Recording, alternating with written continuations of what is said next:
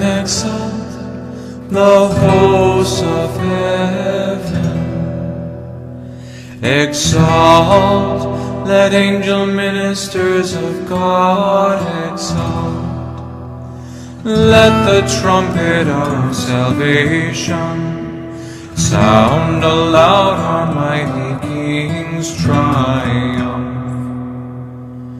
Be glad, let earth be glad, as glory floods her, ablaze with light from her eternal King.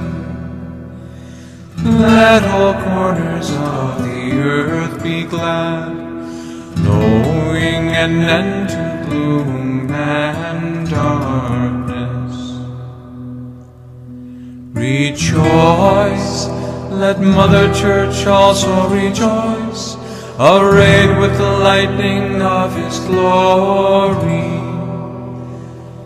Let this holy building shake with joy, filled with the mighty voices of the people.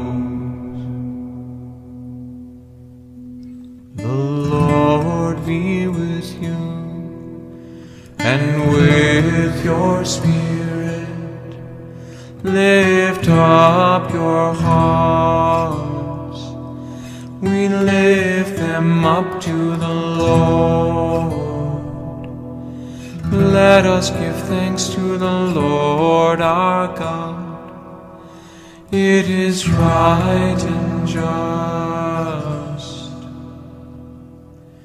It is truly right and just with ardent love of mind and heart, and with devoted service of our voice, to acclaim our God invisible, the Almighty Father, and Jesus Christ our Lord, His Son, His only begotten, who for our sake paid Adam's debt to the eternal Father, and pouring out his own dear blood, wiped clean the record of our ancient sinfulness.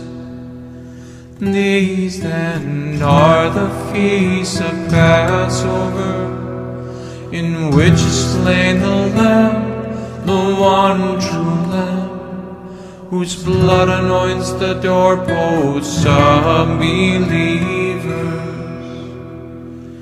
This is the night when once you led our forebears, Israel's children, from slavery in Egypt, and made them pass dry shod through the Red Sea. This is the night that with a pillar of fire banished the darkness of sin.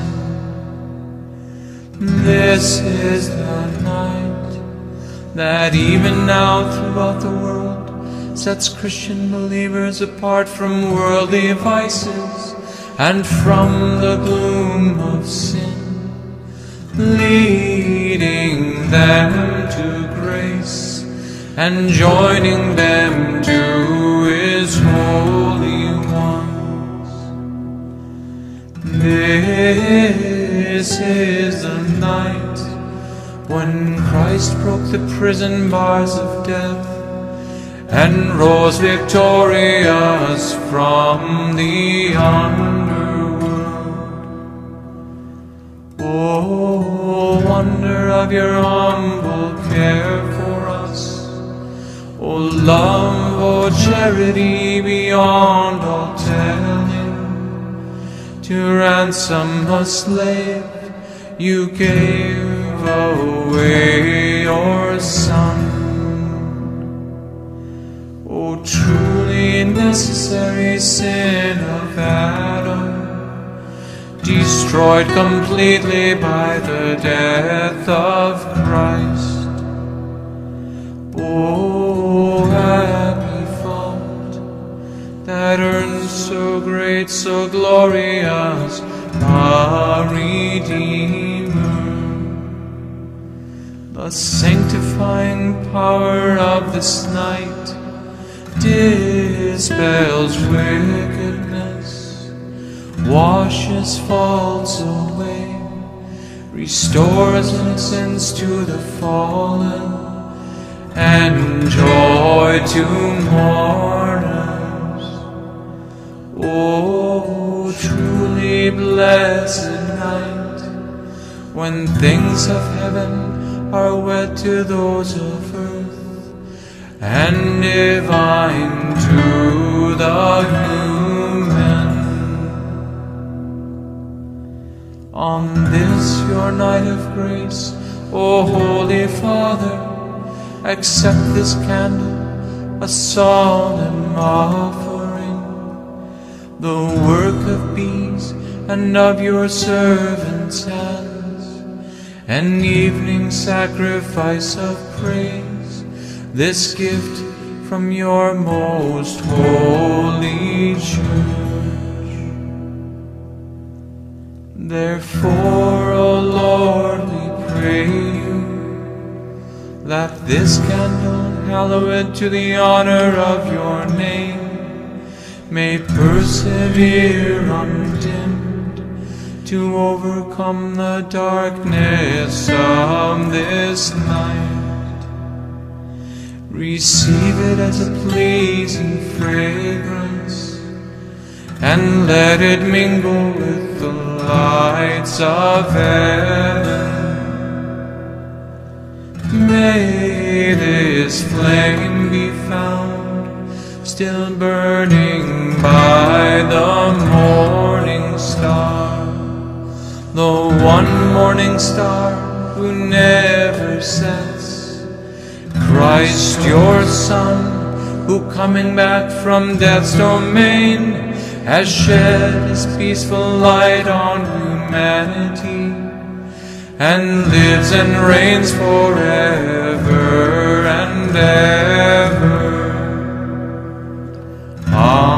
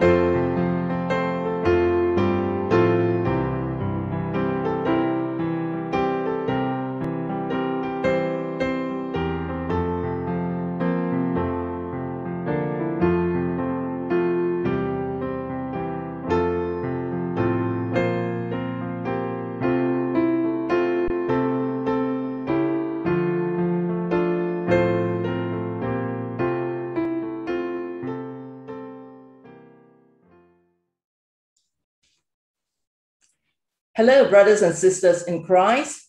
Greetings to all the patrons of the arts in the Vatican Museums who are in attendance today, and to all of our other friends in attendance who are not patrons, a very warm welcome to you. My name is Lillian Chin, and I'm based in Hong Kong. I'm joined today by my husband, Andrew Lau, and I'll be host, your host for today. We're now all gathered for the end of the Paschal Triduum. Tonight, we celebrate the greatest of all Jesus' miracles, his resurrection. Soon, we'll be immersed in the divine light of the resurrection and celebrate our Lord's rising to new life. There is no greater joy than to witness the final act of seeing the Lord's triumph over death and a resounding message of our impending immortality. In today's session, our Lord demonstrates his power and presence. The meaning of the resurrection is our Lord's restoration of human dignity and destiny. The angel proclaimed that Jesus had been raised from the dead and was, in, uh, and was on his way to Galilee. Let us look to both the Holy Shroud and the Gospels on how the resurrection confirms Jesus' divinity and how mortal tools fully capture evidence that is irrefutable and resounding. This will be the subject of today's prayerful reflection. To guide us for the third straight day, we welcome back Father Andrew Dalton. At this point, Father Andrew needs no further introduction. May I just add that he is a board member of Othonia, a center for the investigation and study of the Holy Shroud of Turin. Father Andrew has been to Hong Kong many times and is no stranger to us. In 2015, Father Andrew gave a talk on the Shroud of Turin in our church, Our Lady of Mount Carmel in Wan Chai. And in 2016, he gave another talk in our church on God's creative hands.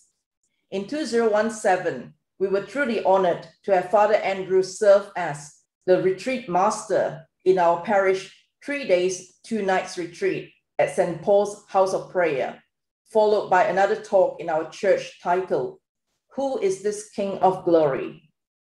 Friends, without much ado, let us all give Father Andrew Dalton a round of applause and a very warm welcome. Oh, Thank you, Lillian. Thank you. And to all my friends there in Singapore and in Hong Kong. How I miss all of you. It's been too long since I've been back, and I, I can't wait for this pandemic to end so I can come visit my friends all over the world. But um, so special memories there. And memories is precisely where I want to begin. Memories on this holy Saturday. Saturday. It's always been curious and wonderful to me that our Lord, in his providence, should allow us this day of silence, this Sabbath rest, after the tumultuous events on Good Friday and before the euphoria of Easter Sunday, we have this middle period, don't we, where we rest, where we keep silence, and where God too is silent in the tomb. And so, what can one revert back to if not memory? We remember like Mary, who held all these things in her heart. And quite frankly, how could you forget? How could you forget the fury of the cross? You know, those, uh, those horrible wounds and tortures and mocking and spitting and the sarcasm of it all. Oh, you're the king, you're the Christ. Well, take this. And, and you know, the stream of, of images must have just come flowing through one's mind in, in, in an almost oppressive way. Can you imagine Peter, who denied our Lord three day for three times, and so many of the other apostles who were too sheepish to even show up at the foot of the cross? And here it is that they remember. They remember what took place and they sit in that space. And we are called as church to remember, to keep a holy memorial of the loving care with which our Lord showed his love for us, dying, uh, taking up death and, and death on a cross, to save us. And so I want to explore the mystery of the, the paschal mystery even more deeply. We've already done this for two days, descending into death with Christ. And now we rise to new and glorious, resurrected, heavenly, divine life with Jesus. It's not just his mystery, it's my destiny too. But I need faith to see that story. And so I want to dive in with some slides. If I can share my screen at this point. There we go. Okay. Well, we're in Holy Saturday, the Easter Vigil, and some of you are just hours away from that vigil, that triumphal moment. But we're all waiting, whether it's in the midday for you or if it's um, in the early morning. We're all in this intermediate, intermediate space. And to help us in this contemplation is the Holy Shroud of Turin, which bears the image, of course, of that crucified man. And it serves as a as an instrument for our memories to recall each step of that via crucis, even unto death, death on a cross. I just want to mention that today, in just short time, actually, at 4.30 here in Rome, um, I suppose that would be what, uh, 10.30 for those in Singapore at night. Um, and early six hours before 4.30 would be what, 10.30 in the morning there in the east coast of the United States um, on the social media, you can actually see a public display of the shroud, what we call here in Italy an ostensione. Um, the Archbishop of Turin has granted, just like last year during this time of pandemic when so many can't flock to this pilgrim site to behold this precious relic. Well, through social media, it's brought to us. Also, here on Italian TV, it will be broadcast at, at 5 p.m at 5 p.m. Italian time. And so I just wanted to mention that we're united with all of our Christian brothers and sisters across the world as we contemplate this body that's been broken and this face which been which has been so disfigured but sleeps peacefully awaiting resurrection in just hours from now. But we're not racing towards the uh, to the triumph just yet because do you know i'm reminded of what it was was written in um, a book that's so famous the imitatio uh, christi the imitation of christ by thomas a. Kempis. But he says there taking upon himself the words of christ the, the author says there are many who would share my banquet but few who would share my fast. And isn't that true that in the spiritual life we we love the consolation um, but we hesitate to accept the desolation. But in truth, the consolation is the shalom, it's the peace that comes after the storm. That's what shalom means. It doesn't mean a lack of conflict, you know, a cessation of all war merely. No, it's it's on the other side of a battle when all that seemed to be lost is regained and then some right? This is the bigger and better paradise that Jesus is ushering in, but it requires an exile. It requires a fast. It requires a death because dying, you destroyed our death, and rising, you restored our life. And so we can't be afraid to contemplate the death of Christ. We're going to use this image, this sacrament, if you will, this holy shroud to seek out the living God, the face that has it, those eyes open, right? Who's no longer beaten and no, no longer disfigured, but in fact now rises to new life. But this vehicle, this sacred instrument that's in our hands, this relic, this icon, which is the shroud, helps us reach beyond the veil that separates us from beatific vision right now. But in faith, we see him if we had the eyes to see not just that photo positive image, but the photo negative image, right? That's a symbol we've said for this double vision. We can look with natural eyes. Oh, but what if we looked with supernatural eyes to see the reality that's actually there? More, more true than what natural eyes perceive. All right. So we begin our contemplation today with the fifth sorrowful mystery, the crucifixion and death of our Lord. Remember, there is no resurrection to speak of if there is no crucifixion.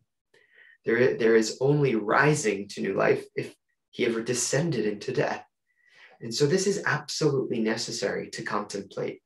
The first thing I want to just mention with regard to what natural eyes discern when they look to the Shroud of Turin is that we're sure that this man died precisely because there is a wound in the side at the exact position between the fifth and sixth rib, counting down one, two, three, four, five, the, the, this intercostal space, which leaves a distance of about 10 centimeters or three and a half inches to the heart. And we know that this is a double edged blade, exactly equivalent to a Roman um, lance, by the way. We have, so therefore, in this kind of almond shape um, wound, about 4.4 centimeters wide, um, with you know tapering edges on both left and right, that pierced through uh, the chest and all the way to the heart. And of course, what we see on the shroud is the blood stain, right? That which corresponds to the blood that flowed out. Now, this is important to recognize that the, the heart is the size of about a clenched fist, okay? Now, of course, when the man is alive, that heart is beating. But what happens when he dies? Well, of course, it stops beating, and then the blood stops circulating through the circulatory system. And so, what happens is that the heavy portion of the blood, the, the portion that carries all those heavy organelles like the red blood cells, and therefore is red in color, is what settles to the bottom of the heart. So, inside of the heart, you have blood that is pooling together, right? And it's there at rest. And so, the corpulous blood, which is heavy, settles to the bottom. What rises to the top is the serous blood, and that is has the appearance of water.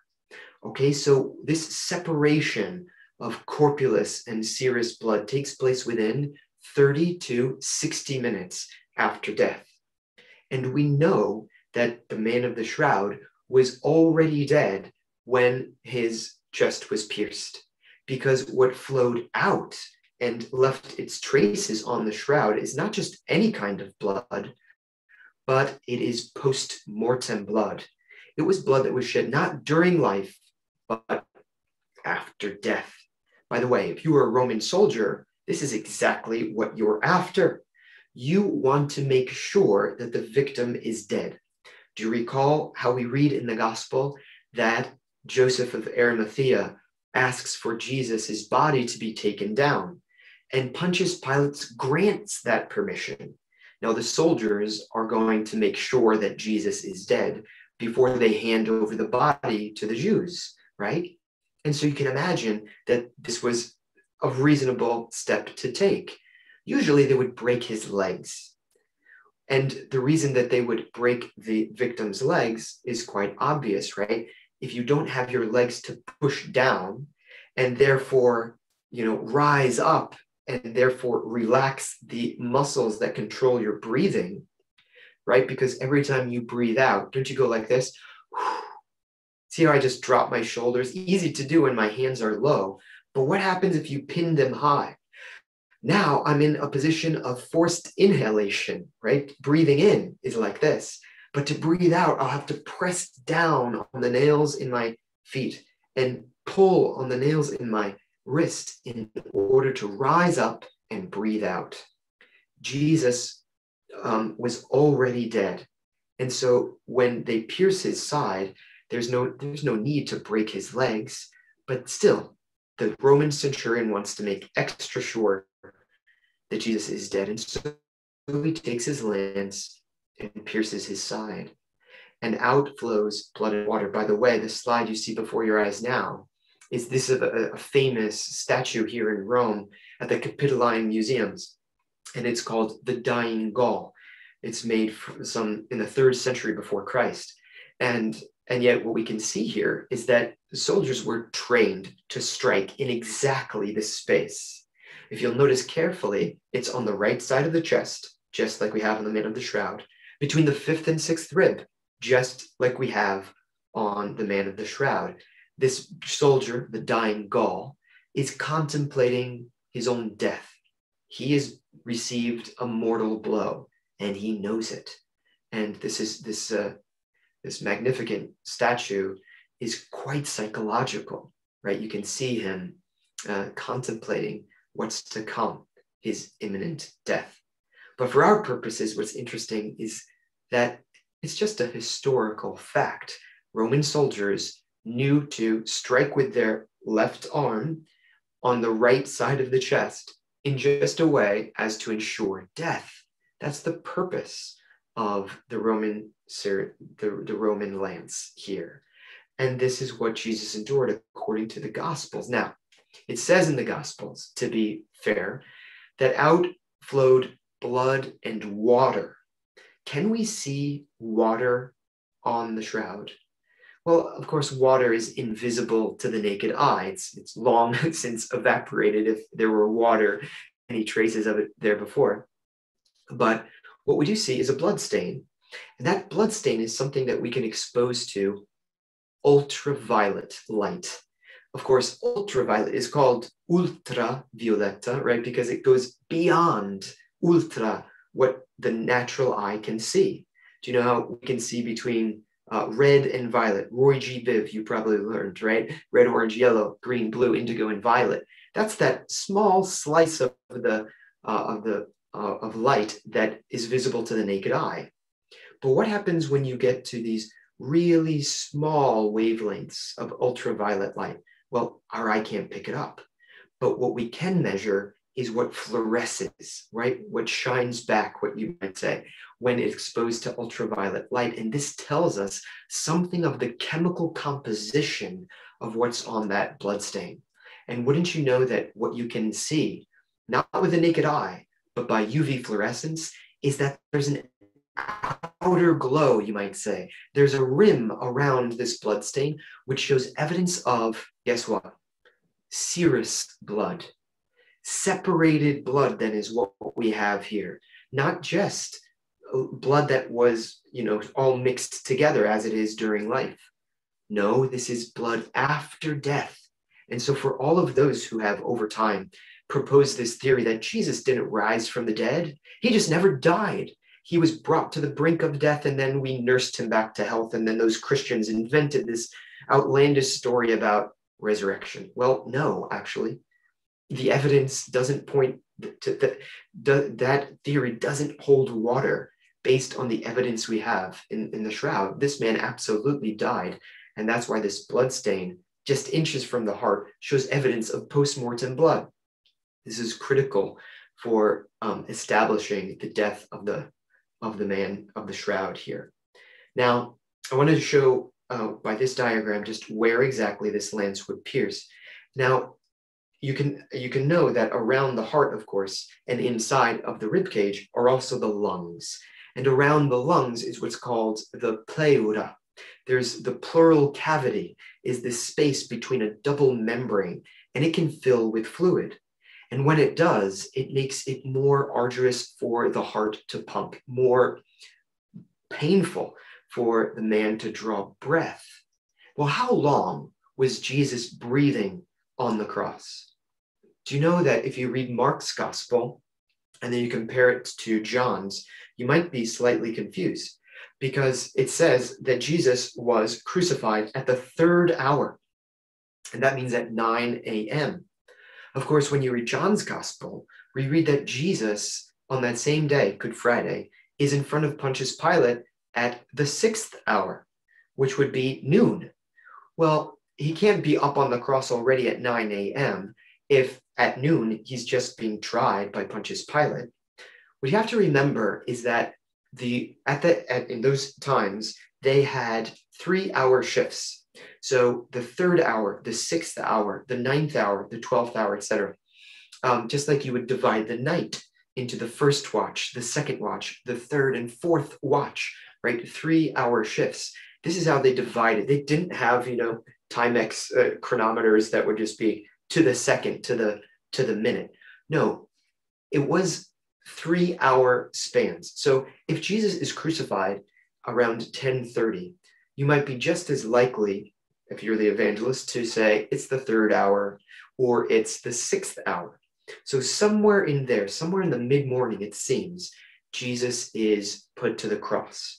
What we do know is that he's on the cross between noon and three. Do you remember how there's darkness over the land because of this eclipse of the of the sun?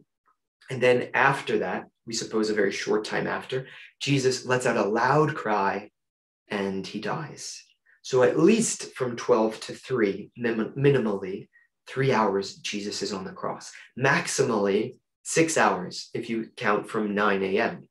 Maybe it's four and a half to be to be more probably probable. I think it be somewhere in the middle. But can you imagine what it is? I, I, if you want to just try this in your own when you're alone, nobody's watching, just hold up your hands. Try it. Try it for one minute. Try it for two. Try it for. I've never I've never gotten beyond two. It's just uncomfortable, and and nobody's putting nine inch nails in my hands, which I'll show you here now. And we're going to talk about crucifixion in a minute. But can you imagine the agony of hanging on the cross for four and a half hours, unable to breathe, unable to speak, and unable to swat flies away that come and you know buzz in your ears and at your eyes? This is a horrible, horrible death that I wouldn't wish upon my worst enemy. And this is what Jesus willfully endured for our salvation. Well, there's the wound. This black spot here corresponds to where the blade would enter in. And you can see how then the blood and water comes out, most likely under pressure, by the way. As you can see, this blood stain is splotchy with some blank spaces. Um, the pleural cavity is filling up with blood fluid and gas, and this is this is coming out under pressure most likely. Now, up until now, I've spoken mostly about just what a centurion observed. Blood and water flowed out. But what does it mean, right? Never mind what your microscope can perceive. To what to some extent, who cares what ultraviolence picks up? Is that as deep as we can go? See, knowledge is one thing, wisdom and understanding is quite another. And so we really need to go to scripture and understand what is the theological significance? What is the message for my life when it comes to this death, this outpoured blood? And for that, it's really helpful to go back to the story of Exodus. You know, we we've just listened to that psalm in these those beautiful preambles to this talk. We had the Exultet, which will be sung tonight at the Easter Vigil, you know, that, that sings famously, Oh, happy fault that brought us so great a Redeemer. Well, it begins with a reference to the book of Exodus, which is when God brought his people out of slavery in Egypt under Pharaoh into eventually the land of promise. But how did that rescue mission take place? It took place by obedience to a liturgical rite. The Lord God said to take an unblemished lamb, one year old, a male, um, and take the blood of this lamb and put it over the lintels of the, of the door. And then the angel of death will pass by. And this was a commemoration uh, at the end of this Exodus of what of the rescue mission that that God that God had done. He, sl- he slew all of the firstborn sons. Pharaoh lost his own son, but the Jews were saved by the blood of a lamb. So this would be the Passover remembrance, the zikaron, the memorial, the memorial feast year after year. Jews would celebrate how God brought me out of slavery, and they would commemorate with the Passover lamb, remembering how they were spared death and brought into new life. Well, this is what is accomplished preeminently in Jesus. Th- those Old Testament lambs were nothing but pointing fingers to the Lamb of God, which is Jesus Christ, whose blood brings about the forgiveness of sins, not just, you know, the breaking of Pharaoh's chains. No, there's a deeper level of liberty that we experience through the salvation wrought in Christ the Lamb. He is the one who is bound. He is the one whose blood was spilt.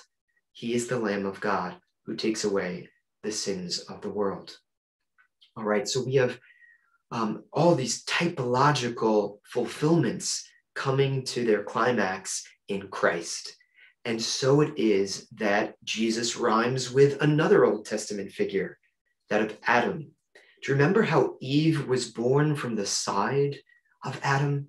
Do you remember how Adam was in sleep when the rib or the side of Adam was used to forge this his own bride, Eve, the mother of all the living. And so now Jesus, in the sleep of death, from his side out springs blood and water. The fathers of the church have always recognized this, a symbol of two sacraments baptism and the Eucharist. The waters of Christ, by which we enter into the very life of Christ, and then the blood of Christ, by which we are nourished with the life of Christ. Do you see how there is a kind of rebirth of a new Eve? The church is born in this moment when Christ is put to death. Ha! Jesus is sleeping, but when he rises, it's in this one flesh union with his bride, which is the church which is you and me, which is all our brothers and sisters in faith who are united to Christ the head, and we who, who, who have a share in his own life. And it's not just natural life that we share, it's the Christ life, the life of the God man, which is both natural and supernatural. It's grace and nature, it's heaven and earth, it's time and eternity, it's the visible and the invisible. This is what we have thanks to what Jesus has accomplished on the cross. And so, to remember what happens in the moment Jesus dies, this is the mystery we contemplate the death and crucifixion. Well, what does the evangelist narrate? At the very moment Jesus dies, and this is the case in Matthew, Mark, and Luke, right, in the, in the synoptic gospels, we read that the, that the temple curtain is torn, the veil the veil that separates the outside world from the sanctuary of God, the place where God inhabits. There no longer is this dividing garment. No, his space becomes our space, our space becomes his space. We're entering into the Holy of Holies. I want to look back at some of this imagery so that we can really understand the significance of the tearing of the veil which coincides exactly with the death of Christ. And that's no coincidence, of course. This is divinely inspired. If to understand it, you have to really go back to the first temple, the cosmic temple, the temple of Eden. Yes, the, the author of the book of Genesis tells the story of and, and maps out the topography of Eden in temple terms. Okay, so we have at the at the center, most interestingly, the tree of life, right? This is that coveted mm-hmm. fruit. Um, we also have the tree of the knowledge of good and evil. We have a river. It's named for this four four parts: the Euphrates, Tigris, Gihon, and Pishon. And then, if you'll remember, when Adam and Eve eat of the forbidden fruit, they are exiled in which direction? east of Eden. And these cherubim, with their flaming sword, which twists and turns in every direction, prevents their re entry into that place where they communed with God, where they walked with Him in the cool of the day. Well, that, that relationship was ruptured when sin was ushered in. They are exiled out east of Eden. And so the desire is to get back into that place of communion with God. And so, wouldn't you know that liturgically, this is the direction that the procession would have to go? If we were exiled to the east, well, now we enter into the tabernacle moving west, past a veil, into an inner sanctuary, into the Holy of Holies. There's actually two veils one in the outermost portion, right? That just separate, separates the, the people from where the priest can enter. And this is where incense would be offered. Think of Luke chapter 1 when Zechariah offers up incense when it's his turn in the calendar year, remember? Only the priest can go inside there. But only the high priest can go inside the Holy of Holies. That's the innermost sanctuary inside the, the, the holy, the holy place. Right? So you have the holy where the priest, or the holy place where the priest can enter. You have a smaller chamber at the end of that, which is called the Holy of Holies. Only the high priest can enter there, only once a year, on the feast of Yom Kippur, the Day of Atonement. And then and only then can the priest announce the name of God, that ineffable name of God, Yahweh, Yahweh, on the Day of Atonement. But there's a veil that separates the holy from the Holy of Holies, just as there is a veil that separates the outer um, tabern- the, the outer space of uh, the temple, um, the temple mount there with the, the sanctuary itself. And wouldn't you know that there are cherubim depicted on that veil? Because that's what was in Genesis. There was this idea that we're moving into the garden. We're going to taste of the tree of life. That's our liturgical hope, right? And this is what we're reliving in a kind of liturgical, sacramental way year, year after year. Now, all of these signs are finding their culmination, their fulfillment in Jesus. Jesus is going to accomplish what those other signs merely signified. Jesus is an efficacious sign of a priest and king and prophet, right? Who enters into the Holy of Holies to offer a perfect sacrifice so that God's name might be proclaimed on earth as it is in heaven that we might enter into relationship with that one who is named. And that's what a name is, right? A name implies relationship. Someone calls another by their name. Well, this is what we're after too.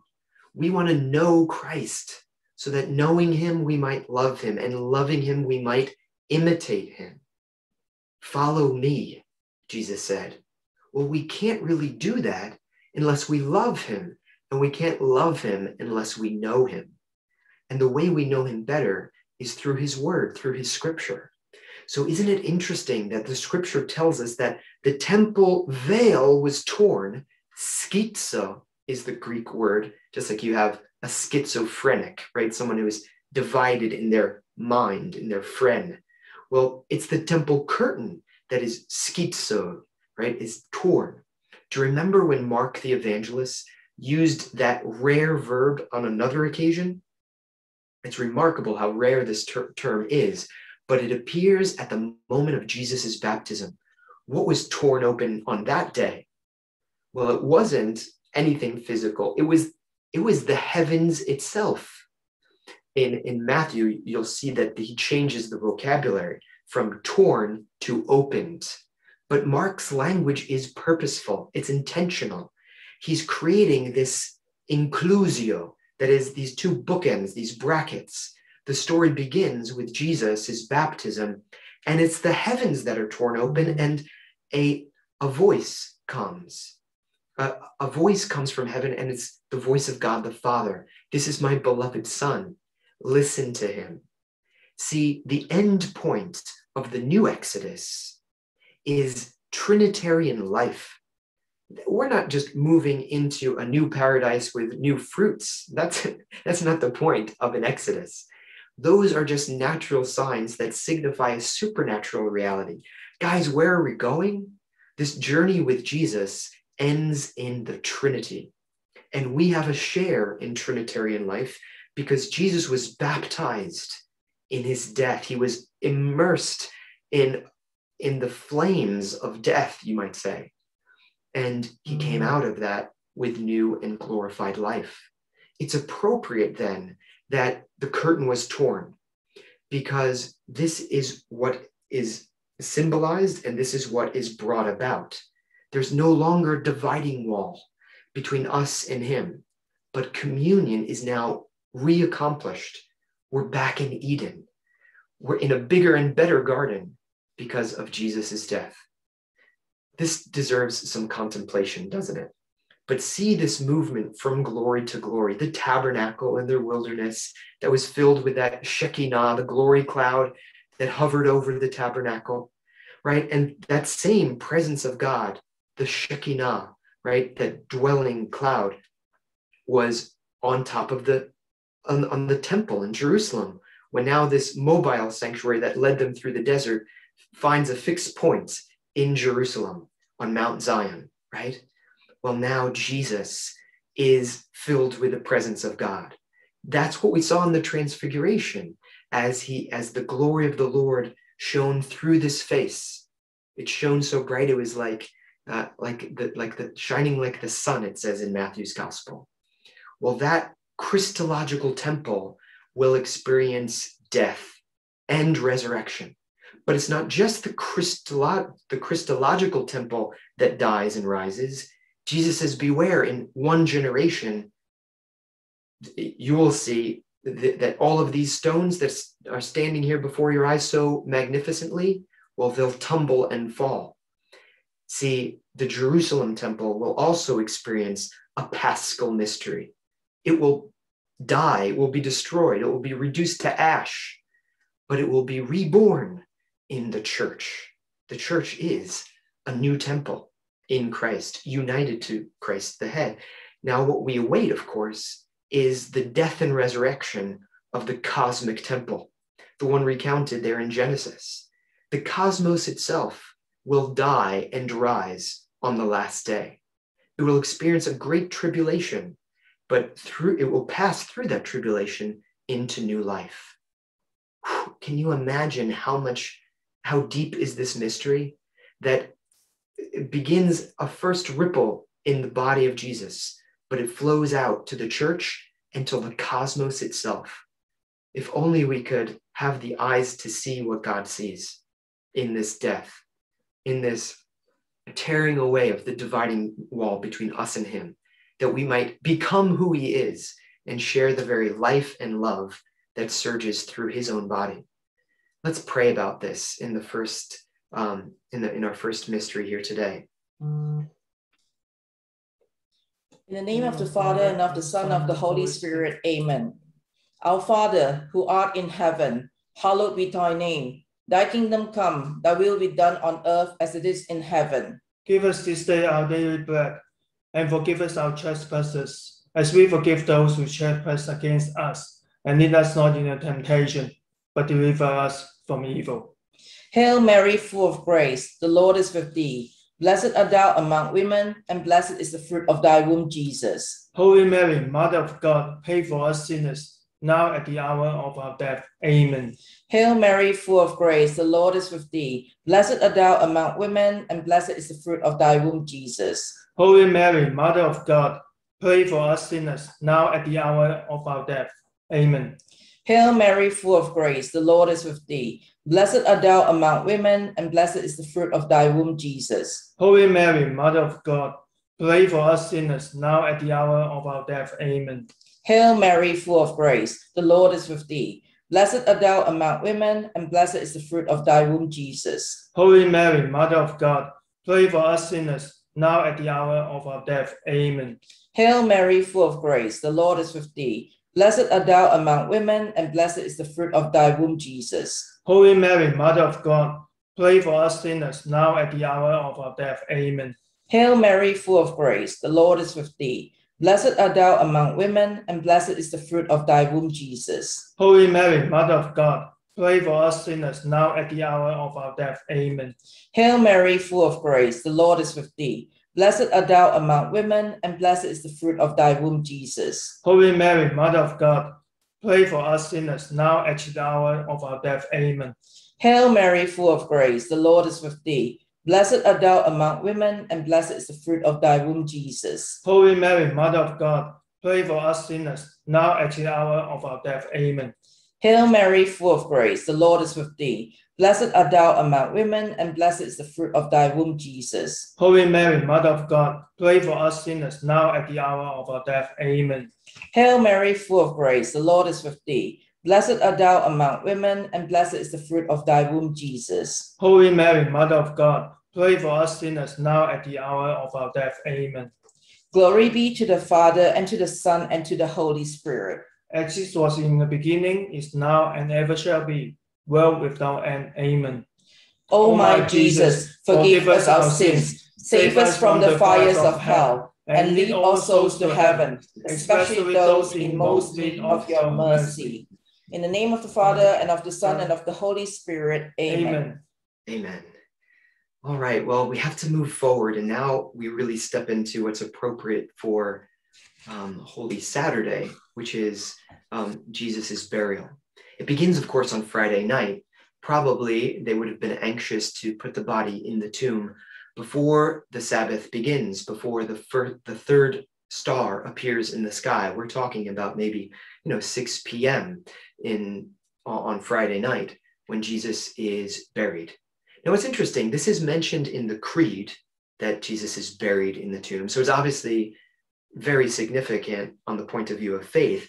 It's obviously very important to the gospel writers. It's always mentioned uh, that Jesus is buried. In the rosary, though, it's not its own mystery. Um, still, I want to give it another, uh, I want to give it some thought. I want to give it some contemplation because I think it's, I think it's beautiful. And, you know, one of the most important sculptures that we have here in Rome, probably the most famous religious sculpture in the history of the world, is the Pietà by Michelangelo. Of course, this is the moment of the deposition, right? When Jesus is taken down from the cross. And it would be understandable that Mary, uh, his mother, would receive the body. And, and this is what Michelangelo contemplates, and with him, the universal church, you know, for the last five centuries. And, and, and it's marvelously beautiful. Can you, it's also terribly sad. I don't know if there is any worse suffering than a mother who's lost her own, her own child. Uh, this was brought home to me when a friend of mine uh, with, with whom I, I graduated high school lost her 17 year old uh, child. And it was just heart wrenching to relive that with her. And nobody wants that. Uh, nobody expects that. And, you know, a mother loves their child with their own, like their own life or more. I think Mary would have gladly changed places if she could have. And yet there she is broken along with Jesus. And this is important for us to realize that we share in Christ's own passion. We have a role to play here. And it's not merely as spectators, but we're entering into the death and resurrection of Jesus. Yes, from our own vantage point, just as Mary did hers. Do you know that we get very little details about Mary's life, but this one we do get. Stabat Mater. That's the Latin translation of the gospel verse in Math in uh, John chapter 19 that says Mary was standing. She was standing at the foot of the cross. And I always uh, found that remarkably significant that just when the weight of these sufferings would have, you know, broken her down to her knees quite easily, she was she was standing in faith with courage, offering as if a priest this perfect sacrifice along with the high priest, Jesus himself. So, yes, Jesus is offering his own life, but the church is also offering it in and with him and through him and in him, right? Isn't that we, we pray at every Mass? Well, that's what I think Mary is doing right here and that's what's depicted in this beautiful statue. If you'll notice, her face isn't actually looking at the face of Jesus. She's looking out beyond the body, perceiving a divine presence, perhaps, right? Aware that Jesus, Jesus's words would be brought to fulfillment, that he would die, yes, but he would also rise. And she rests in the promise now. It doesn't take away the pain, but it does redimension the pain, doesn't it? See, this is how Mary's transfiguration, her sanctification, her perfection is brought about through a kind of paschal mystery. This is exactly what Simeon foretold that the moment she brought him to the temple as a baby. A sword will pierce your heart too, Mary. Well, I can assure you she's describing this moment in time as being pierced through with seven swords, right? Because nothing can do justice to the heartache that she feels as she cradles her baby boy one last time, except he's dead. And so he hangs lifeless in her arms now. Well, they take him down from the cross, and now they have to bring him to the burial spot. Interestingly, it's going to be a virgin tomb.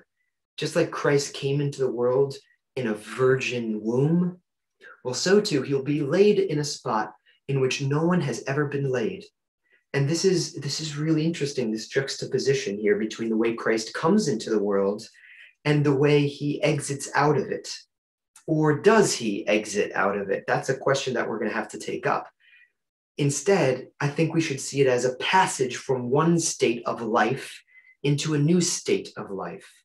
So Jesus is passing out of the womb, which is the tomb, out of death into resurrected life, into glory. And so it's a virgin tomb. Interesting. This is a, a painting by uh, not uh, Caravaggio. Sorry, I lost the term there. That's another Michelangelo. The Michelangelo di Caravaggio. Caravaggio is a place, it's a, but he's named actually with the, the very first name of his hero, and uh, I'm sure Michelangelo Buonarroti, the one who did the Pietà. Here we are 100 years later or so after uh, Buonarroti, the one who made the Pietà. And we have this famous painting called the Deposition. And Christ is laid into the tomb. And it's interesting, you'll see this shroud. And that's probably a reference to the Shroud of Turin, by the way, which was brought to Italy in the 1570s. Here, um, that's just the time uh, when Caravaggio will be doing his most important work. He dies in the year 1610. And so look at this movement. If you look at the, the, the composition, do you see how the, the cloth swoops under Christ and then finds this kind of resting point in, in, the, in the ground? You, as a spectator, are standing in the tomb. Did you know that? You can see this clearly because there's a straight line at the level of our eyes, which is the ground. We're then under the ground, and uh, the Joseph of Arimathea, or Nicodemus, perhaps, is handing us Jesus. Did you know that the face, by the way, of Nicodemus, I, I believe, is who this is meant to portray? The face, though, is that of Michelangelo, the one who did the Pietà, the one who captured this moment of the deposition in an unforgettable way. But the fact is that we are about to receive this Christ, the one that is handed over for us and you know that? Look what's coming out of the tomb a new, a, a, a sprout.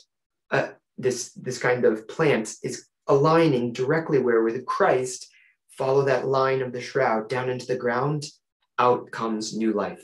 There's, symbol, there's symbolism here, which is to say, Christ is like a grain of wheat. If it remains alone, if it doesn't die, it remains alone, a single grain. But if it dies, it bears much fruit.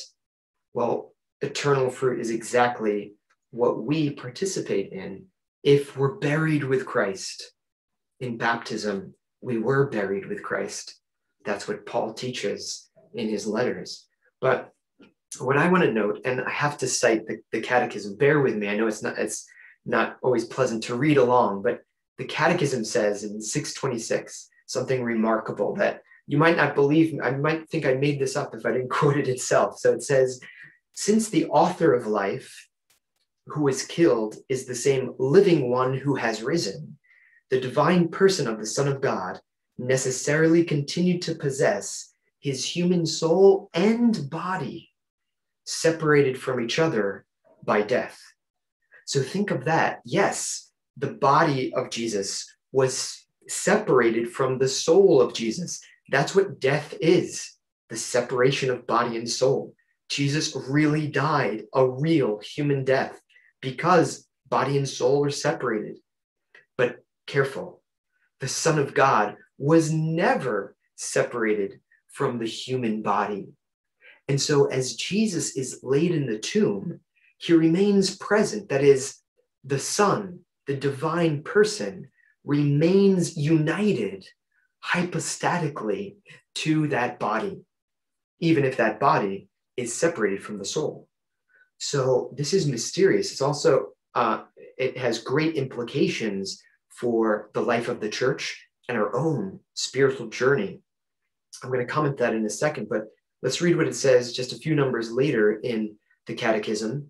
During Christ's period in the tomb, his divine person continued to assume both his soul and his body, although they were separated from each other by death. And so when you visit the tomb in your mind, in your imagination, in your liturgical remembrance or memorial today, know this Christ is still present. The divine person is still there, even if his soul no longer animates that dead body. And isn't it interesting that liturgically, we typically don't genuflect in front of the cross? Did you know that? We genuflect in front of the tabernacle. There's the real presence of God in the Eucharist, right? His body, blood, soul, and divinity is there in the Eucharistic species, even if our eye can't see it.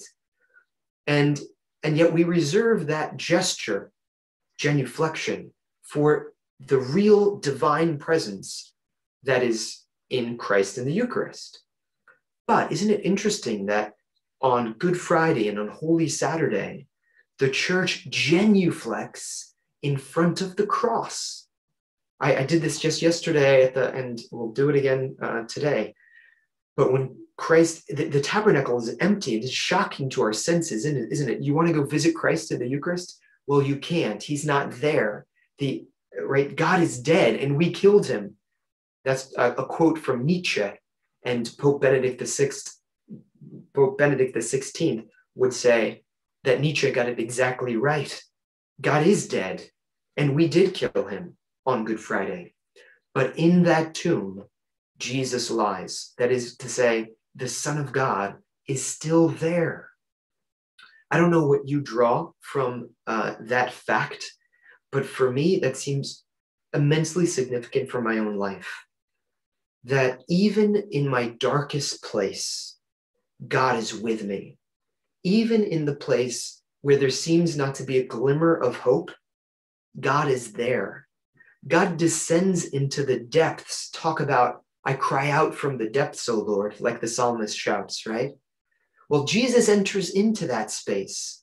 Jesus enters into our tomb where there is no light, where there is no life. Jesus experiences that. The Son goes to that spot and he's with us there.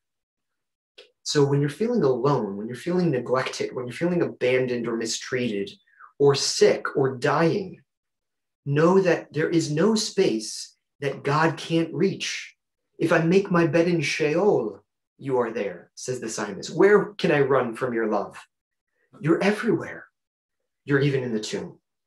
I think Mary must have uh, meditated upon this today. And this is that peaceful face that we see before our eyes right now. I mean, yes, there are signs that she was probably holding her head in her hands earlier. You see her ruffled veil. But now, if you look at the Pietà, you see that a beautiful face is just resting. Certainly, it's sorrowful, but at the same time, all of those waves that are on the surface of the sea are not able to penetrate deep down in that ocean, which is Mary's soul.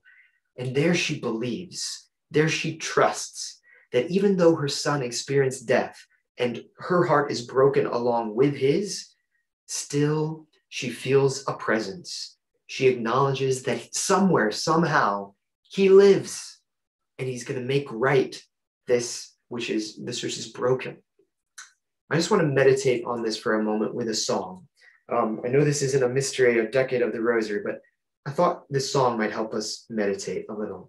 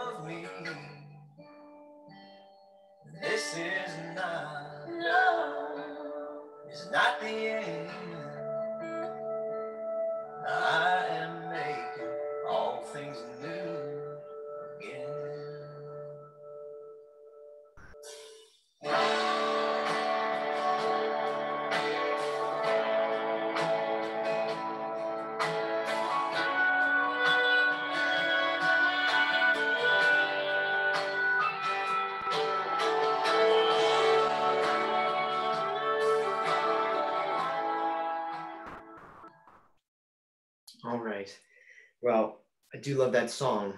And I love that message. I'm making all things new again. I think for sure um, this is what Mary must have been thinking. This is the promise she must have been resting in that Jesus isn't reaching the end, but he's doing something new. Um, this is exactly what we contemplate on Easter Sunday, right? That verse from Revelation chapter 21 Behold, I make all things new. Well, one last thought about this Pietà that we mm. have before our eyes, and it is Mary's gesture. Can you see how her left hand is not touching the body of Christ, but it's like in this priestly gesture of offering? And then look at her right hand, which is underneath his arm, his right arm, but it's not touching his skin. It's there's a cloth between her hand and his torso, as if to say, This is so precious, this is so holy. I'm I'm not even touching it. It's something, it's I think the way we get at the significance of what Michelangelo is after here is by realizing that this is an altar piece. This statue is presented in front of the place where we celebrate the Eucharist. And so the priest is going to have in his hands the, the precious body and blood. When he's holding the Eucharist, he should hold it with the same reverence and love and faith as Mary touched the holy body of Jesus. Because he's not staying in death, he's rolling out onto the altar in new divinized life after the resurrection. You know, in the Eucharist, you don't receive a corpse, you receive the living, glorified, resurrected body of Jesus. That's what's going to fall out of Mary's lap and onto the altar. This is what we receive every time we go to Holy Communion. Oh, there's much more I could say about the Pietà, but we want to move on and reflect on the resurrection because this is, of course, the first glorious mystery. Now, we often associate the resurrection with the empty tomb. That's the first thing that was discovered, is what we read about in the Gospels. The tomb that's empty, right? There's nothing inside, right? No, not exactly. There's actually something significant that they find. And when they find it, because they find it, the way that they find it, is why they begin to believe that Jesus is risen from the dead. I'm talking about the shroud, of course. This is what we read about in John chapter 20. And we'll read it on Easter Sunday if you go to the morning mass anyway. And you remember the story how Mary Magdalene gets up early, but evidently not early enough, right? Because Jesus is already gone. The tomb, uh, the door that rolled that giant stone has been rolled away. The body's no longer inside. She runs off to tell Peter and John, the beloved disciple, and they, upon hearing this news, race to the tomb. And John, who's younger and faster, gets there first. He doesn't go into the tomb, but from the outside, he bends low and he sees inside the tomb. He sees what? He sees the burial cloths. He sees, most likely, what we know today as the Shroud of Turin. But he's seeing it from a distance. He's not inside the tomb. This is inside, at a distance. He is perceiving this. He waits, though, for Peter to come after him. And there comes poor old Peter, you know, huffing and puffing. He steps into the tomb. He goes down those stairs. He goes past where the rolling stone would be set as an entryway into this inner chamber. And now the evangelist tells us Peter sees the, the burial cloths. That's the second time we get the verb to see. And if you're reading in English, the New American Bible, for example, you're going to see the same verb to see, to see. But there's, there's a clue here, there's a little secret here. In the original Greek, John, the evangelist, used two different words because it's not the same type of seeing that John has from a distance and Peter has when he gets up close and personal and sees that the burial shroud is lying there. It's rolled up and in a different place, rolled up separately from the um, this what's the word I'm looking for the um, the the the garment that covers his head, the sudarium. There we go. Sudor in uh, Greek is means um, means sweat. Also in Latin, uh, it means sweat. And so uh, the, the sweat cloth is what is the napkin that covers just the face. This is curious. Why are we getting these little details? There are so many details about Christ's passion, which I would love to learn about, but the evangelist doesn't tell me. He's painfully discreet. But when it comes to this moment, John goes out of his way to tell us all about this dirty laundry that he mentions three times the word othonia, translated burial cloths or sometimes linen cloths. I mean, you want to shake him by the tunic, right? And say, John, where are you going with this discourse? Who cares about the claws on the ground? Why does that matter? And if you read very closely in verse 8, John now enters the tomb, the beloved, the disciple, the one who saw those, those claws in a first moment from the outside. Now he goes in, and it says he saw and believed. And it's not the same verb. Once again, we have a new, new verb, and it corresponds with a new vision, a supernatural vision, the vision of faith, which is just beginning to bud as he hears the, from the silent witness, the shroud. And this is significant because for us as Christians, our faith is founded upon testimony of eyewitnesses. But who witnessed the resurrection? Not Peter, not John, not even Mary Magdalene. She wasn't up early enough. But who, or what might, or we might say, what witnessed the moment when that corpse passed from death to new life? Well, how about the linen cloth that enveloped the body? It was a witness, a silent one. Well, now it's beginning to speak as it comes into contact with the first disciples and seeing it with eyes of faith, they see and believe. And so, this is what we're called to do, not just see from a distance. That was the verb blepo. It's not like even Peter who gets up close and personal inside the tomb.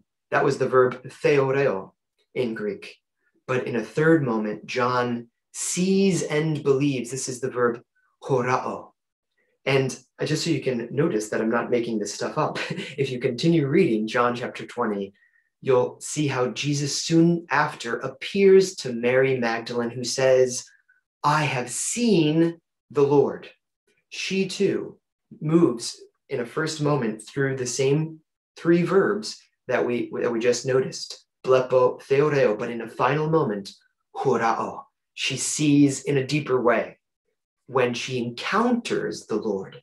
See, there's a progression from sadness to initial vision, which then crescendos into an encounter with a living person. That's what we're after too. As we read the scriptures, as we meditate and contemplate these mysteries, we reach a point of encounter with a living God. It's not just some mental exercise that we're doing. Jesus is alive and he sees us and he's with us. I wanted to, to notice that John also uses this language earlier in his gospel. Isn't it chapter 11 when Lazarus is raised from the dead in John's gospel? And there's a, a curious little detail there. Um, here, too, the evangelist is treating of the theme of burial and a man who rises out of burial into new life. But it's a different kind of new life, isn't it? This is a mere resuscitation. That is to say, Lazarus is going to have to die one day, eventually. That's very different from Jesus, who doesn't just experience a resuscitation of a corpse returning to natural life. No, no, Jesus passes from natural life into glorious, resurrected, divinized life, a new state of life in which he'll never die again. Jesus is immortal seated at the right hand of the Father. And from there, he comes to us every single day, like on clouds uh, from heaven through the Spirit. But no, Lazarus is brought out of the tomb. When Jesus says, unbind him, I love that language, unbind him. It tells us something about the way John, the evangelist, thinks about burial. See, it's very likely that Jesus who is in a vertical position on the cross, is then laid on top of a cloth in the tomb. But that cloth is so long that it actually goes over the top of him as well, enveloping him, right? Front and back of the body, so that we get a double image on this cloth. We have, of course, the frontal image here on this side, and we have the dorsal, I should put it like this. This is probably the way you're accustomed to seeing it. You have the frontal image here on, on this side. You have the dorsal image here on the right because it enveloped the body.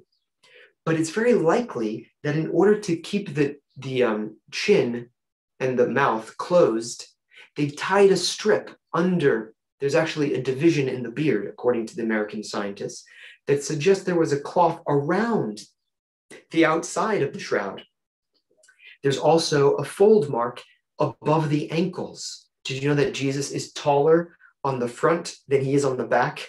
That is, the man of the shroud has this little break because there's likely a strip of cloth that um, bent or bent the cloth or folded it up together with that which was binding it. This is also significant because it helps us understand the Greek word burial cloths. Do you hear the S at the end? This is a plural. This is a probably a collective, right? When we talk of linens in the closet, we mean uh, we mean one thing, the linens are in the closet, and yet there's several different cloths, right? Well, so it is with Jesus. There's probably one large sindon. That's the Greek word that the um, evangelists use, Matthew, Mark, and Luke. But John says burial cloths in the plural. And it's likely then that there are strips, strips that are used to bind from the outside. Why is that significant?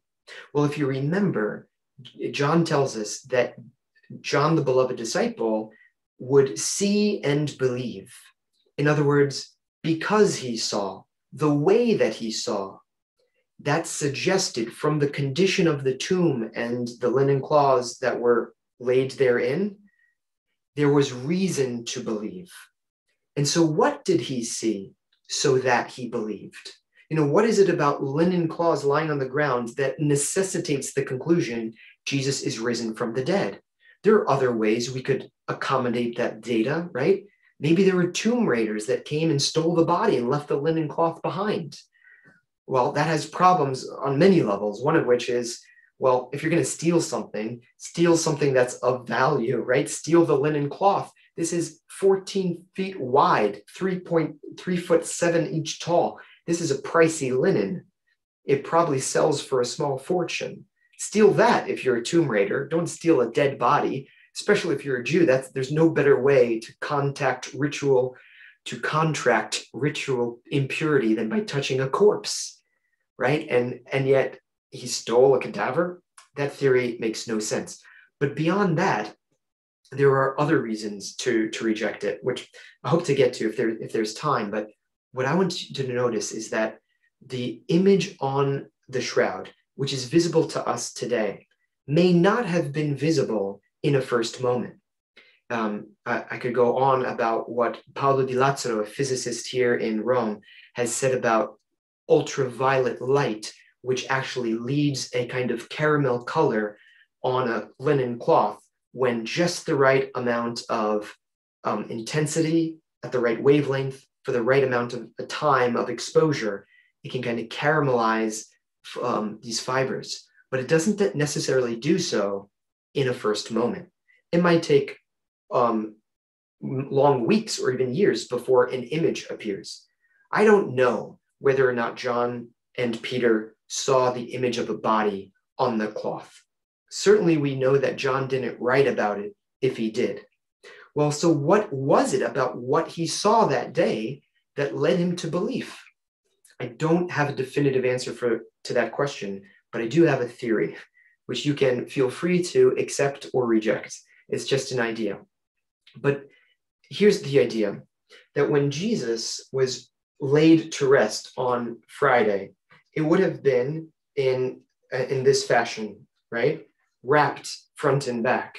And now we have probably um, ties, small ribbons wrapped around his ankles and under his chin. How is he going to get out of there unless you untie, just like you untied Lazarus, unless you wrench off the cloth, and now you get to the body. Now, that didn't take place, or so it seems, because what we see on the shroud is that there are no signs of displacement, no signs of smearing, no signs of wrenching whatsoever. Those blood stains, remember, this is liquefied blood. Remember, you know, when your blood comes out from the hands. And we have very clear images of the blood stains on the cloth. it's going to have to now liquefy in the tomb so that it can be absorbed ever so slowly um, into the cloth. That, that process of softening the blood is called fibrinolysis. It's when the fibrin, that protein in your blood, which makes the blood hard, makes it coagulate, well, that it undergoes a dissolution. It's dissolved by a process called fibrinolysis. Well, fibrinolysis was interrupted 36 or 40 hours after um, the initiation of absorption. That's what we know from shroud science.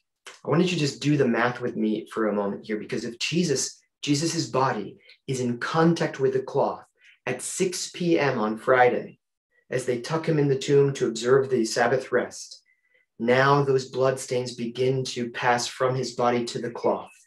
What's 36 or 40 hours after? Well, it's midnight on Sunday morning or 6 a.m. on Sunday morning.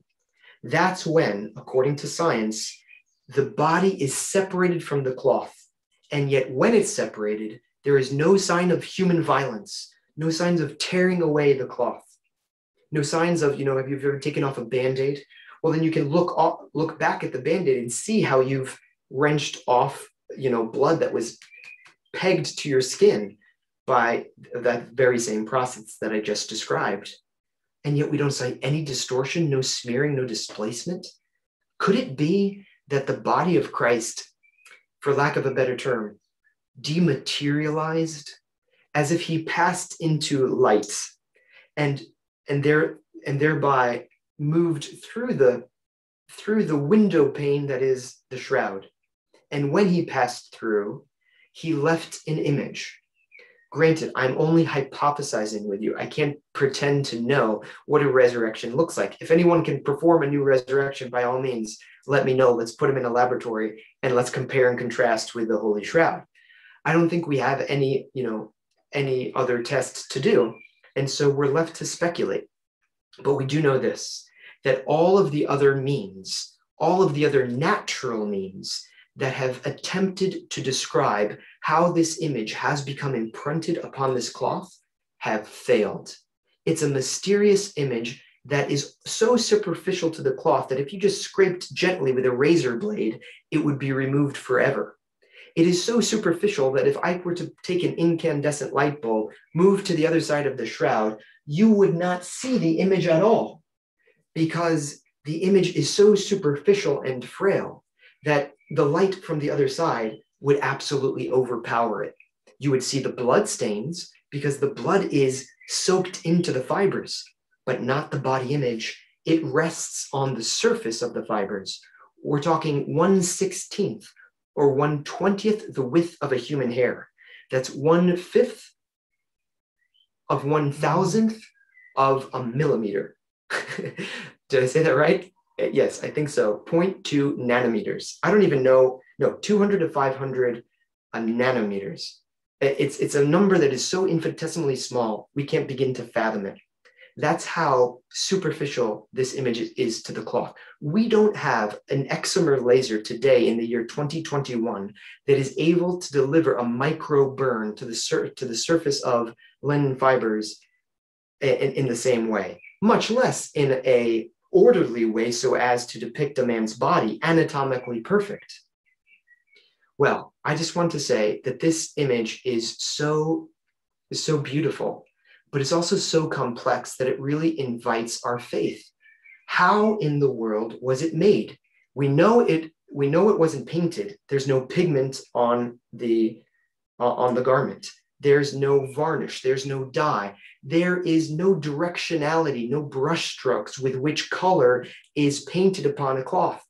Well, then what is it? We can, the scientist can only shrug his shoulders and say, I don't know what it is. I know what it's not. It's not a painting, it's not a rubbing, it's not a scorch, and it's not an ancient form of photography. Science discards those possibilities. And so the question remains open. How then was this shroud image formed?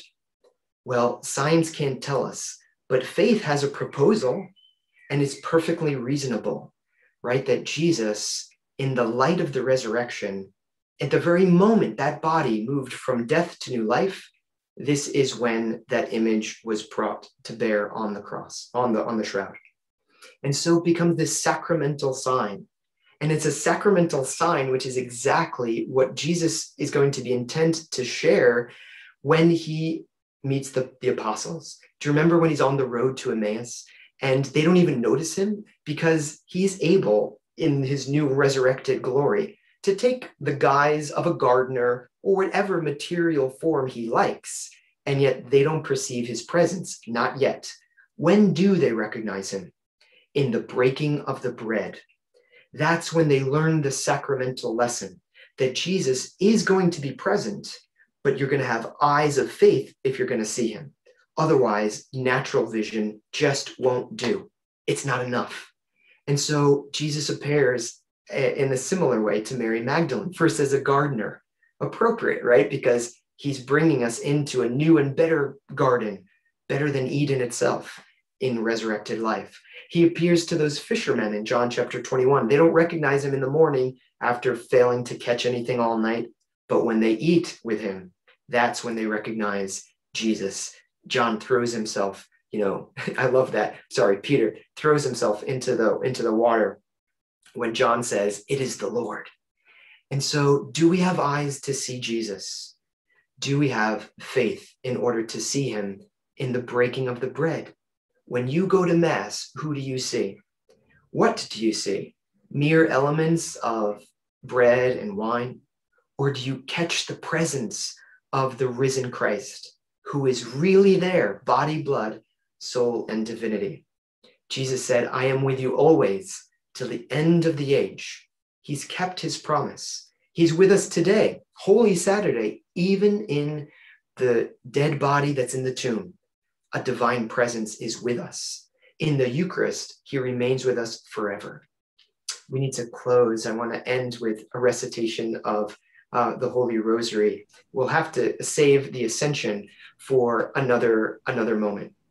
It's true that Jesus is ascending in, uh, into glory is just begun in the resurrection, but it's not finished until he sits at the right hand of the Father and sends his Spirit to come as King through his Spirit into the world. The kingdom on earth as it's in heaven is exactly what Christ the King is bringing about in his death and resurrection, in his rising to glory. Let's pray, shall we? In the name of the Father, and of the Son, and of the Holy Spirit. Amen. Our Father, who art in heaven, hallowed be thy name. Thy kingdom come, thy will be done on earth as it is in heaven. Give us this day our daily bread, and forgive us our trespasses as we forgive those that trespass against us. And lead us not into temptation, but deliver us from evil. Amen. Hail Mary, full of grace, the Lord is with thee. Blessed art thou among women, and blessed is the fruit of thy womb, Jesus. Holy Mary, Mother of God, pray for us sinners now and at the hour of our death. Amen. Hail Mary, full of grace, the Lord is with thee. Blessed art thou among women, and blessed is the fruit of thy womb, Jesus. Holy Mary, Mother of God, pray for us sinners now and at the hour of our death. Amen. Hail Mary, full of grace, the Lord is with thee. Blessed art thou among women, and blessed is the fruit of thy womb, Jesus. Holy Mary, Mother of God, pray for us sinners now and at the hour of our death. Amen. Hail Mary, full of grace, the Lord is with thee. Blessed art thou among women, and blessed is the fruit of thy womb, Jesus. Holy Mary, Mother of God, pray for us sinners now and at the hour of our death. Amen. Hail Mary, full of grace, the Lord is with thee. Blessed art thou among women, and blessed is the fruit of thy womb, Jesus. Holy Mary, Mother of God, pray for us sinners now and at the hour of our death. Amen. Hail Mary, full of grace, the Lord is with thee. Blessed art thou among women, and blessed is the fruit of thy womb, Jesus. Holy Mary, Mother of God, pray for us sinners now and at the hour of our death. Amen. Hail Mary, full of grace, the Lord is with thee. Blessed art thou among women, and blessed is the fruit of thy womb, Jesus. Holy Mary, Mother of God, pray for us sinners now and at the hour of our death. Amen. Hail Mary, full of grace, the Lord is with thee. Blessed art thou among women, and blessed is the fruit of thy womb, Jesus. Holy Mary, Mother of God, pray for us sinners now and at the hour of our death. Amen. Hail Mary, full of grace, the Lord is with thee. Blessed art thou among women, and blessed is the fruit of thy womb, Jesus. Holy Mary, Mother of God, pray for us sinners now and at the hour of our death. Amen. Hail Mary, full of grace, the Lord is with thee. Blessed art thou among women, and blessed is the fruit of thy womb, Jesus. Holy Mary, Mother of God, pray for us sinners now and at the hour of our death. Amen. Glory be to the Father, and the Son, and the Holy Spirit. As it was in the beginning, is now, shall be forever and ever. Amen. O my Jesus, forgive us our sins, save us from the fires of hell, and lead all souls to heaven, especially those in most need of thy mercy. Amen. In the name of the Father, and the Son, and the Son, and the Holy Spirit. Amen. Well, our journey with Jesus now comes to an end. It began as we looked upon his glorious face in the transfiguration, and we moved from that mountain of glory to the mountain of sorrow, Mount Calvary, where he died and was buried like a seed in the ground. But it didn't remain alone. It sprung to new glorified life in the resurrection. And now the promise comes true. As we contemplate this face, we share in his own paschal mystery. If we're willing to die, die to ourselves, die to our sin, and take up the cross that leads to new life in Him. I just want to pray that all of you have a blessed Easter, which continues now, right, for eight days. Don't forget, um, in the days to come, we continue to meditate and take on this Jesus we've just begun to know. And no matter how far along you are in your contemplation, if you're if you're new, if you're a veteran in prayer, there's always more to discover because Christ is infinitely beautiful. And so you'll never, you'll never make this run, this well run dry. Uh, I want God to bless you so infinitely, but I know that He won't bless you apart from His cross and apart from contemplation and prayer. So watch and pray. In the name of the Father and of the Son and of the Holy Spirit, amen.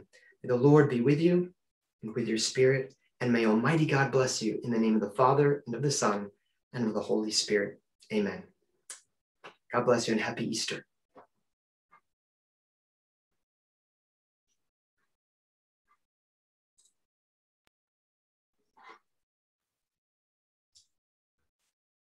Our three days Easter Triduum has come to an end.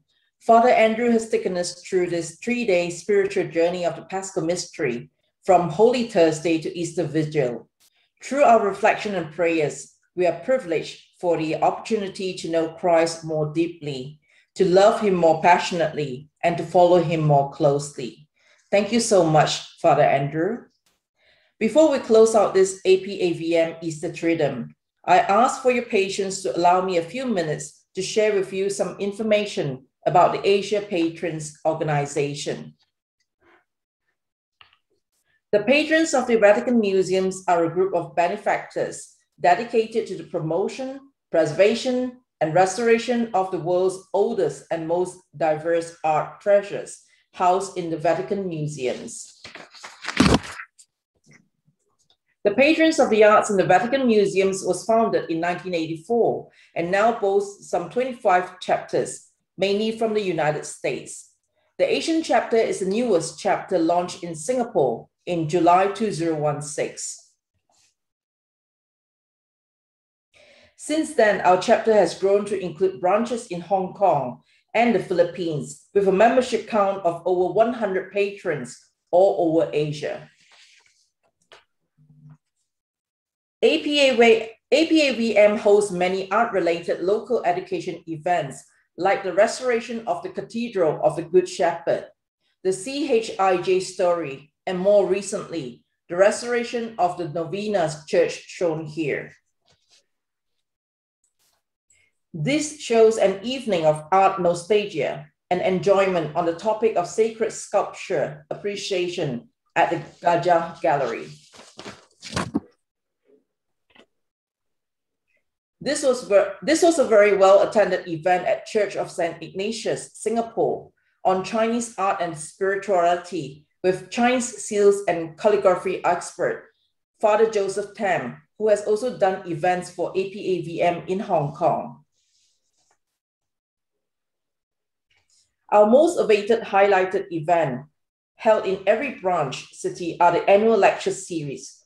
First with Father Andrew Dalton on the Shroud of Turin in 2017. And the most extensive two-week tour of Asia by internationally renowned Renaissance art historian Dr. Elizabeth Lev in 2019, a smashing hit with patrons and friends. When COVID-19 hit last year, APAVM re resorted to our first ever four-week online webinar lecture series in May 2020 on Raphael and his world, celebrating the 500th anniversary of the artist's death. Our second four-week webinar lecture series in October 2020 featured Father Michael Collins, where we brought Europe to patrons' homes with an architecture tour of medieval France, England, Spain, and Italy. Treasures from Heaven was a resounding success with over 200 participants attending online every week. Without doubt, the single biggest benefit patrons can enjoy is our once in a lifetime annual Vatican trips. Some 80 patrons have been on our three previous trips. 42 patrons were registered for our May 2019 Malta, Rome, and the Vatican trip, which has now been postponed to May 2022. Highlights of our Vatican trip include VIP sitting at Pope Francis' general audience, and for some, even a personal greeting. Most of our trip program gives us behind the scenes, patrons only privileged access, for example, to the Vatican Museum's many restoration labs. Here you see a private tour of the Vatican Museums with the Sistine Chapel exclusively open only to our group. No wonder the empty halls of map and tapestries and the frescoes of the Raphael rooms cannot but entrail our patrons gaze in wonderment. And there's no better way to end a memorable trip than with the final night black tie gala dinner inside the hallowed halls of the Vatican museums, sitting amongst ancient structures and attended by Cardinal Bertello, the president of the Vatican State. We have been blessed that in the last four years, APAVM patrons and friends have contributed well over a million US dollars to sponsor major art restoration and architectural projects. As a patron, our annual contribution of just 750 US dollars per year goes a long way to help us support these restoration works. I therefore urge your support and encourage you to find out more about APAVM by visiting our website at apavm.com or scanning our QR code. If you have enjoyed and gained spiritual renewal from this Easter Triduum, please do consider joining as a patron. Coming soon, coming soon in June is APAVM's next lecture series on faith and science. Instead of a single speaker, this time round, we'll be featuring a different speaker every week, each renowned in their field of expertise. Father Andrew will once again be with us, this time to delve into the scientific evidence that makes the shroud the fifth gospel. It now remains for me, on all our behalf, to thank all those who have made this three-day Easter Triduum possible. To our moderators, APAVM administrators, and our technical team from Janesh team, thank you for an outstanding job done and especially our special thanks once again to Father Andrew Dalton. Thank you all for being with us this evening. We truly appreciate your attendance and we look forward to seeing you again in our June Faith and Science lecture series. Good evening, happy Easter, and have a very, very blessed Sunday. Goodbye.